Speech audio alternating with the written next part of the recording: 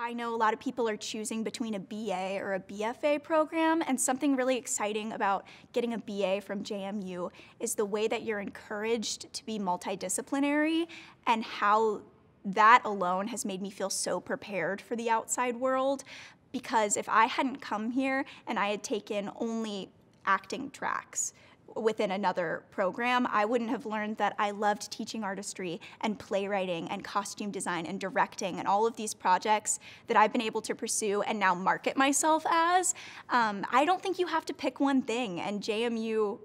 really emphasized that for me that I can do anything I put my mind to and try anything. And I think that's one of the most exciting parts about this program is not only do they sort of push you to try new things, but they let you